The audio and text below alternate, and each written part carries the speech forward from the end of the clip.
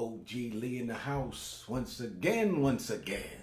Thank goodness, thank goodness.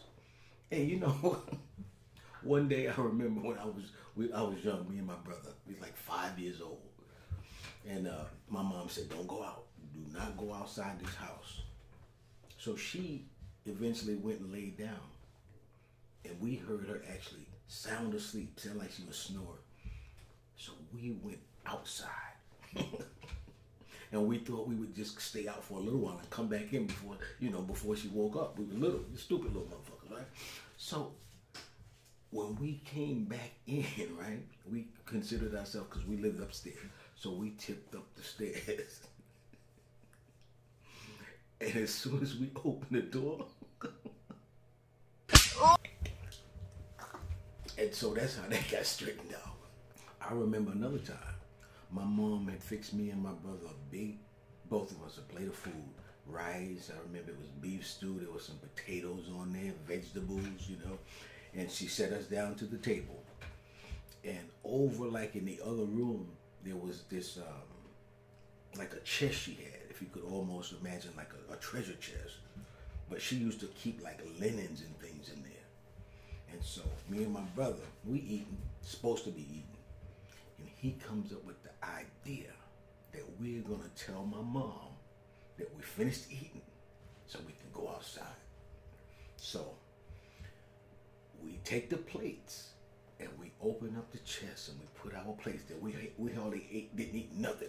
We put our plates in the chest, closed it. Mom, we finished. We go outside. We come back in. As soon as we hit the door,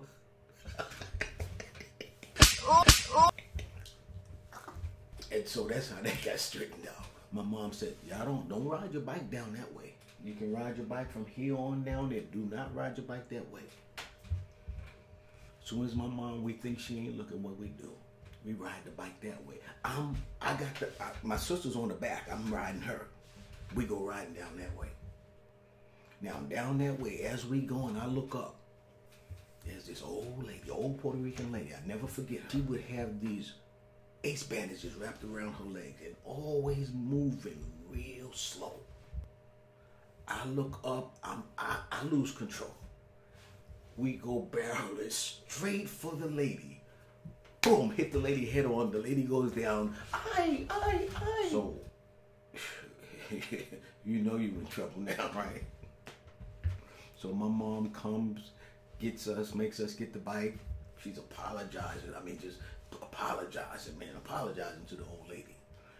And uh, so, you know how you you know when you get home, your mom acting all cool when she's outside, but you know when you get you know when you get home. Oh my goodness!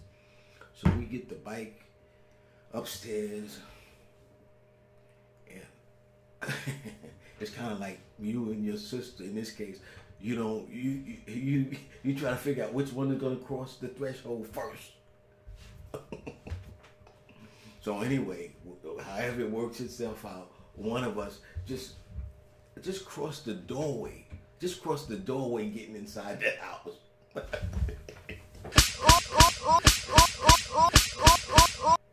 and that's how that got straightened out. I'm not saying harm your kid. I'm just saying keep them in line so that they respect life and they respect their elders and they follow some kind of order. Because whatever you teach them is what they're going to learn.